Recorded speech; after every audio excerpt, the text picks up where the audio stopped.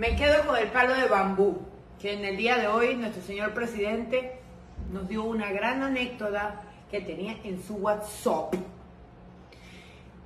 Y ahorita mismo Panamá está prendido. Tuve que chorcotear para poder llegar a mi casa porque Panamá Viejo estaba cerrado, quemas de llantas y todo. Paitilla está en candela ahorita mismo. ¿Cuál es la respuesta? No dan respuesta. Vamos a seguir así. ¿Qué es lo que estás esperando, panameño? ¿Estamos esperando un 1989 o qué es lo que estamos esperando? Vamos para la calle porque todos tenemos que ir para la calle porque a todos nos afecta. Y aquí no hay clase media, señores. Aquí lo que hay es clase alta y clase baja. Y adivina, la clase media desaparecimos.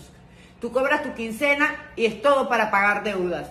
Y ya se acabó y para echar gasolina. Y para hacer súper, porque adivina, ir al súper te cuesta mínimo 200 dólares para comprar tres pendejadas. ¿Qué pasa? Yo a ti te di mi voto, yo a ti te di mi voto. Y mira con lo que me saliste. Lleno de, tú dijiste una vez en un discurso, yo no estoy hecho de leche condensada, pero adivina, tú estás hecho de leche condensada agria. Porque mira cómo está Panamá ahorita mismo.